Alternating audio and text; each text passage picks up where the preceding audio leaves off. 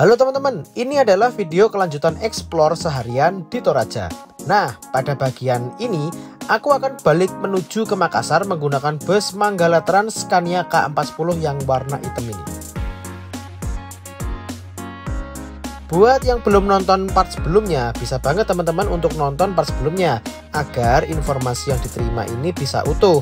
Linknya aku cantumin di kolom deskripsi atau di pojok kanan atas video ini.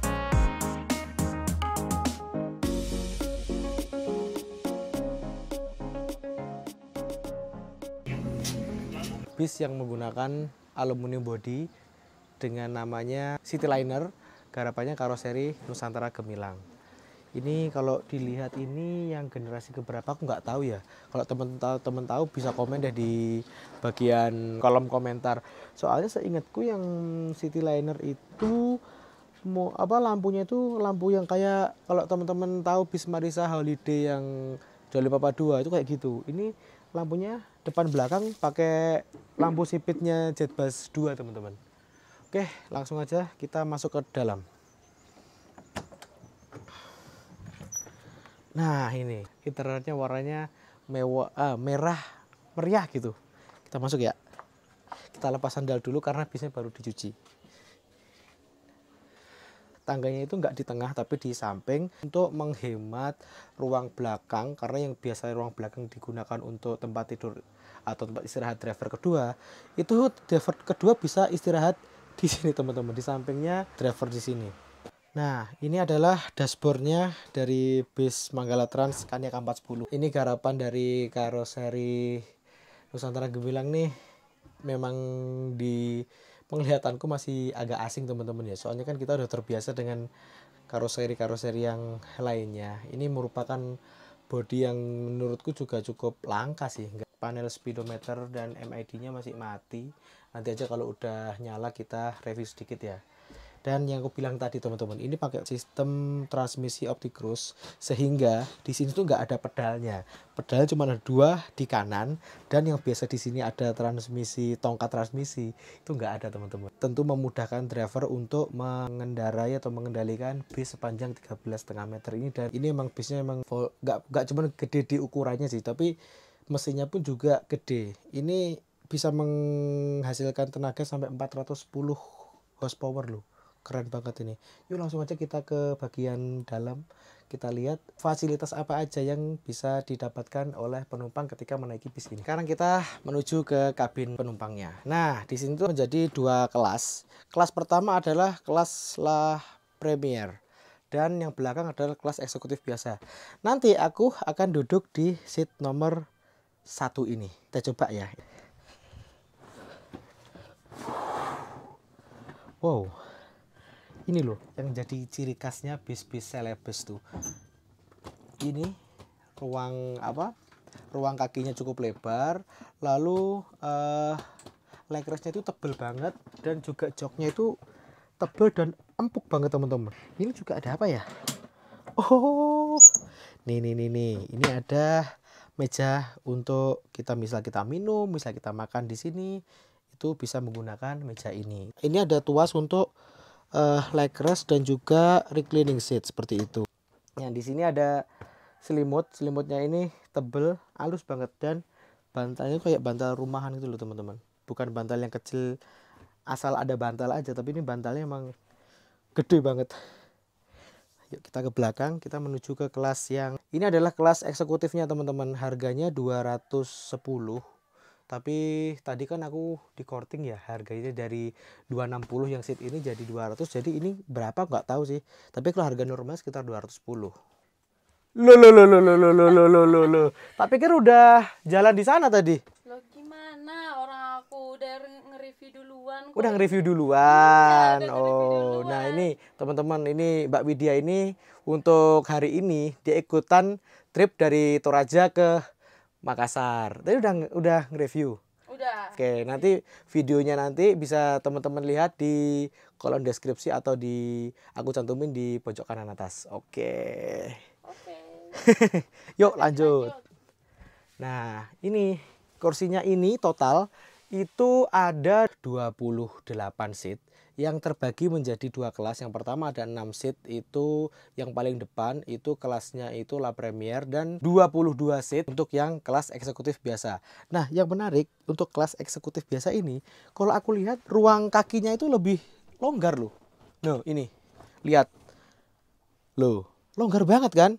Jarak antarnya tuh longgar. Misal ini direbahin maksimal pun itu nggak ganggu kaki kita teman-teman. Oh ya teman-teman pasti masih banyak yang tanya kenapa kok semewah-mewahnya bis di daerah Makassar rute Makassar Toraja Makassar Palopo Sorowako dan lain sebagainya itu kok nggak ada toiletnya? Nah jadi gini ini kalau aku salah mohon dikoreksi ya sepengetahuanku dan aku tanya-tanya dari kru dari mana itu eh, sini ada anggapan bahwa kalau toilet itu emang tempat yang kotor dan rasanya kurang sopan kalau tempat penumpang dijadikan satu dengan tempat yang kotor.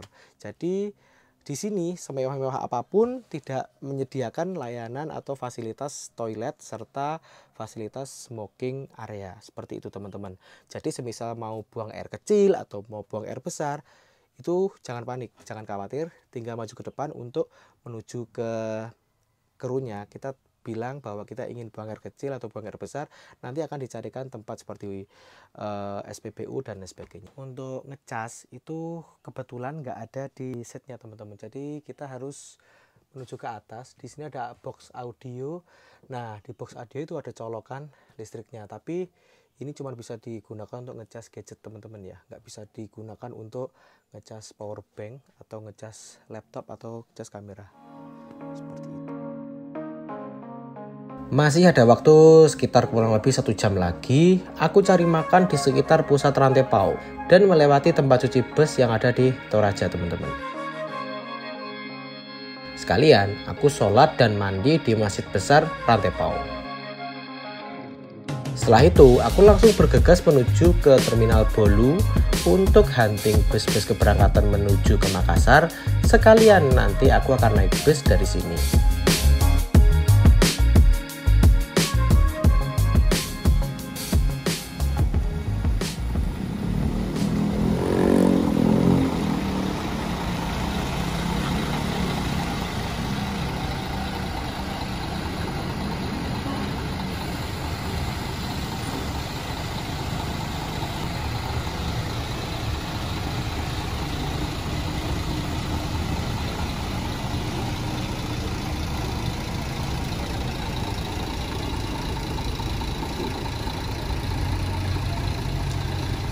Teman-teman, ini sekarang waktu menunjukkan pukul 18 lewat 15 dan kita udah sampai di terminal Bolu yang ada di Rantepau Toraja Utara. Ketika aku datang, ini udah ada dua bis, yaitu yang pertama ada Sinar Muda Scania K360 tujuan Makassar dan juga ada Primadona Double Decker Mercy 2542 yang warna merah dengan livery burung maleo. Nah bisku yang Manggalatran ini belum datang nih kayaknya masih muter-muter ke perwakilan terlebih dahulu.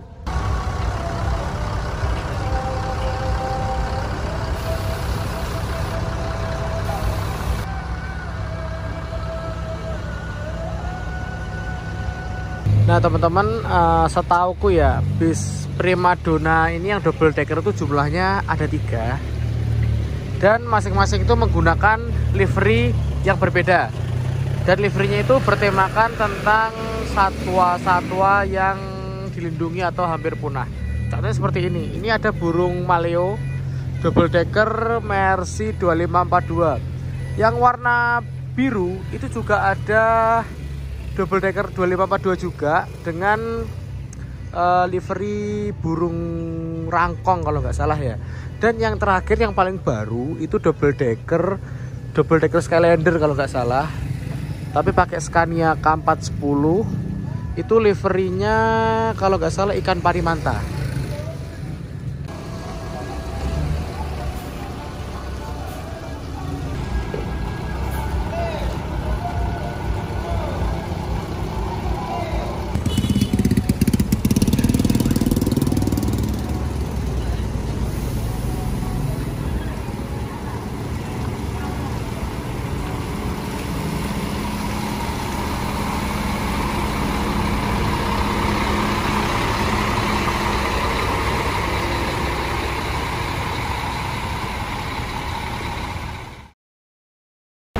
Oke teman-teman, ini jam setengah tujuh. Beberapa bis sudah pada masuk, termasuk bisku. Ini yang akan membawaku menuju ke Makassar. Bisa nomor satu, dia pakai Scania 410, level atau kasta tertingginya PO Manggala Trans. Juga ada bis-bis lain yang tujuannya ke Makassar teman-teman. Jam setengah tujuh ini memang jam-jam ramenya bis sih. Padahal ini kan lagi PPKM ya, jadi PO tapi kalau nggak ppkm bu tambah rame lagi nih. Ini masuk lagi satu batu tumonga. Ini pakai 1626 yang tadi ketemu di garasi. Ini sinar muda parkir pertama sendiri. Dia pakai kok setnya 21 ternyata. Tuh porsinya setnya 21 teman-teman. Lalu ada uh, bisnis kelasnya primadona. Nih jajar sama double deckernya. Nah untuk saat ini masih terpantau Primadona itu jalannya dua unit. Kayaknya yang, yang lainnya belum masuk deh. Tadi waktu di cucian aku lihat yang La Premier Gold kelas tertinggi Sebelum ada double deck Itu yang livery badak. Itu kayaknya nggak tahu perpal atau jalan ya teman-teman ya. Ini double deckernya Primadona dengan livery burung malio berangkat dari terminal Bolu. Jam 7 lewat 15 menit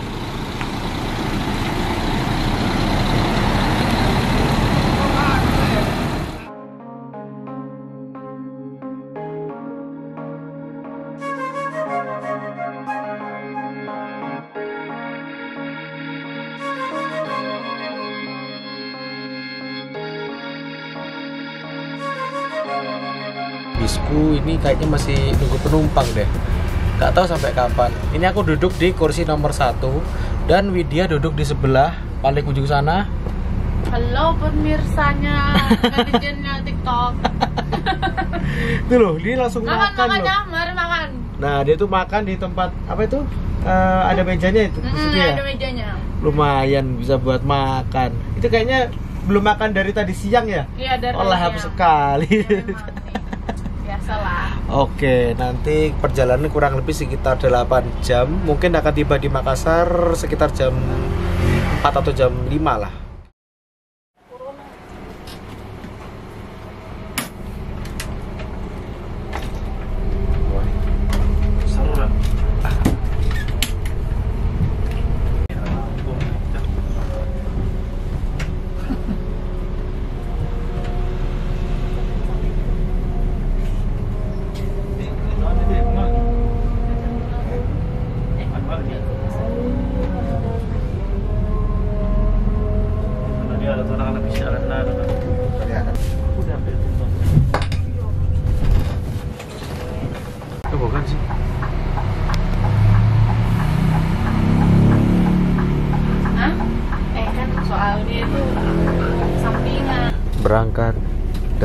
Agen Rantai Pau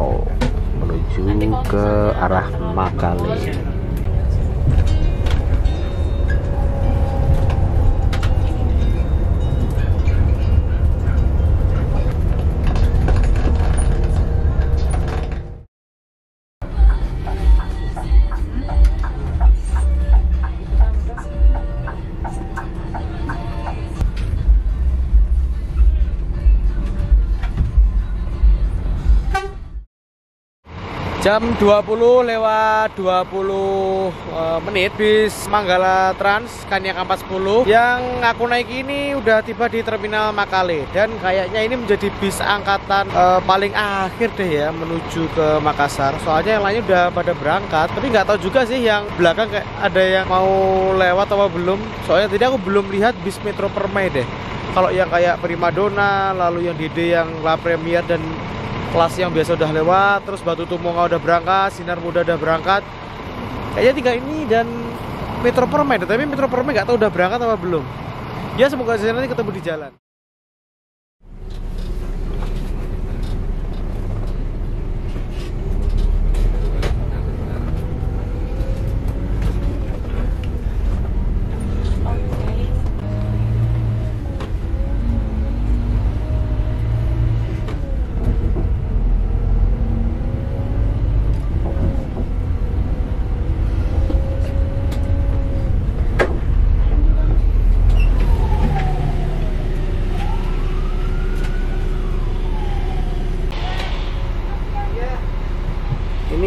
udah nyampe mana nih ya Makale.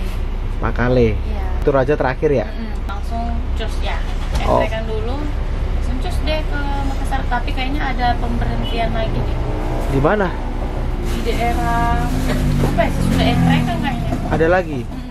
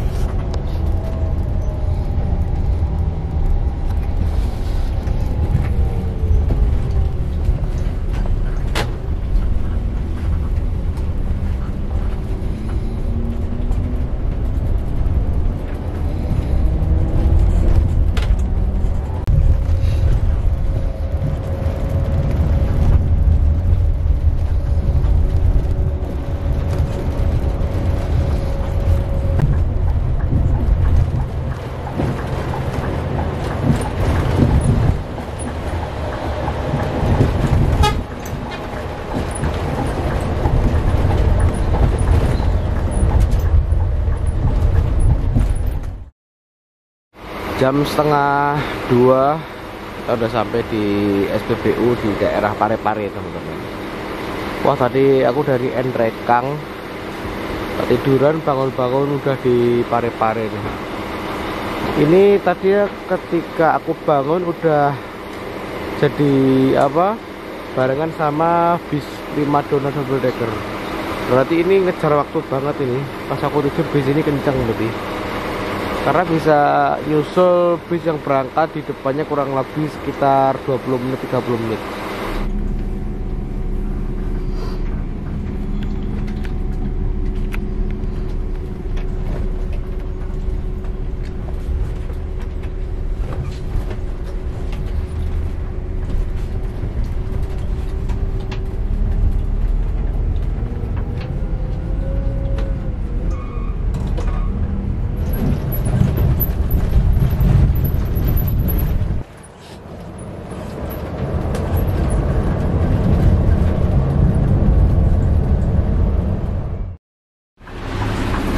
Pak terima kasih Pak Oke, ketemu. ya Ya, hati. Yuk. Oke teman-teman, ini jam 4 kurang 15 menit sudah tiba di Makassar lagi. Asli ini bisa kenceng banget ya. Yuk.